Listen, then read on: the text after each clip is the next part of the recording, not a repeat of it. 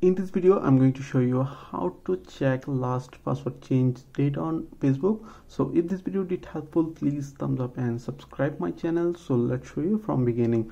So first of all open facebook on your iphone or android. It's uh, same. So open facebook then tap on your profile icon in this bottom right corner. Then tap on uh, gear icon in this top. And it's open bunch of shading options and first section is account center. So tap on see more in account center. And it's open another options. And here is password and security. So tap on password and security. And here is first option is change password.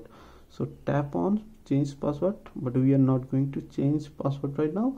So tap on to select your facebook account if you have multiple accounts so tap on and as you can see here showing three box.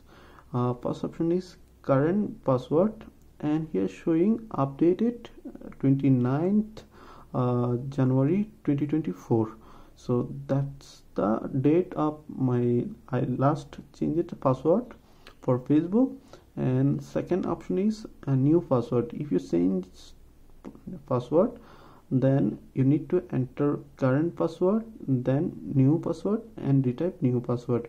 Then tap on change password.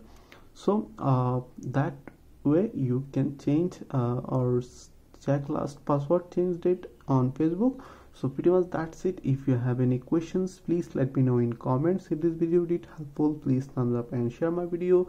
See you on the next